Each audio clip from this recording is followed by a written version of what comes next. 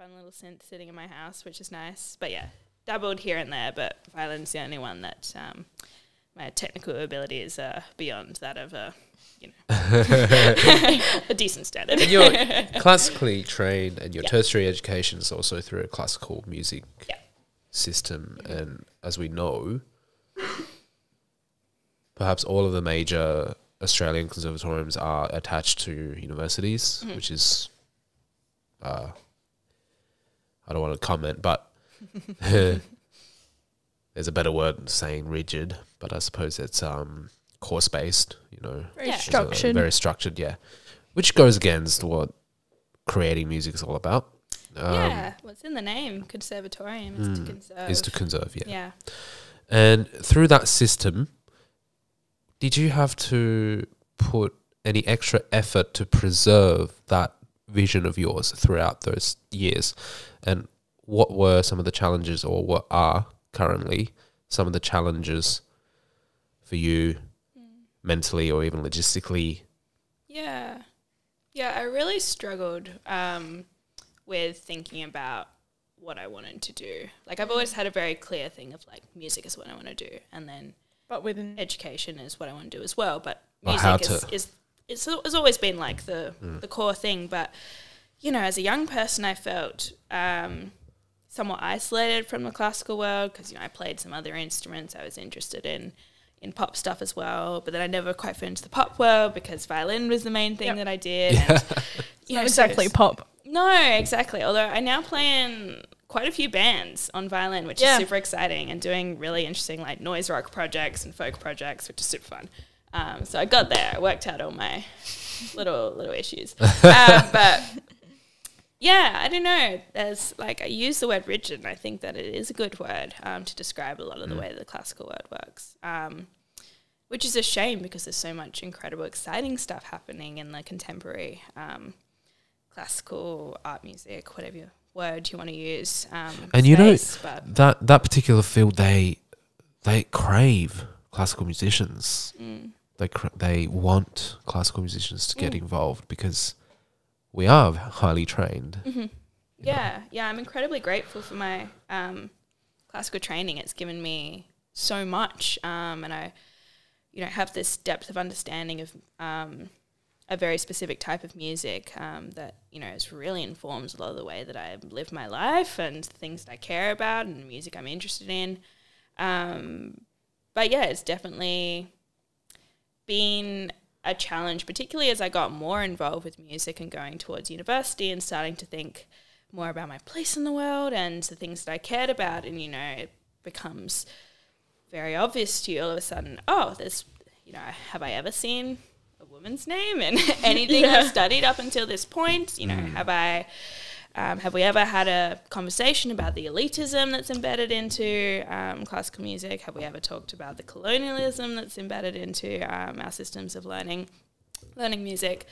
Um, and so that's something I've definitely started to think more about and become more enraged about, but in a very productive and um, exciting way. Um, and yeah, it's it's something that I'm trying to to tackle and work with and dissolve some of those things I've had issues with um, in the work that I'm doing. And yeah, If you travel back in time, Mm. I just had this image. If Mm. you travel back in time, I spilled Mm-hmm. the water. if you travel back in time to when you were 14, Mm-hmm. which is the time of that paradigm Mm-hmm. shift or, you know, that en- enlightenment, I'd say, knowing what you know now, what would you say to that younger self? Mm. That's such a beautiful question. But yeah, it's so hard. For a little 14 year old here. uh, I would say that it's going to be okay. Yeah. Like, things are going to be fine. You're going to find your niche. You're going to find the people that you want to work with. And that's been the most exciting thing is just finding people who are open to exploring things in different ways.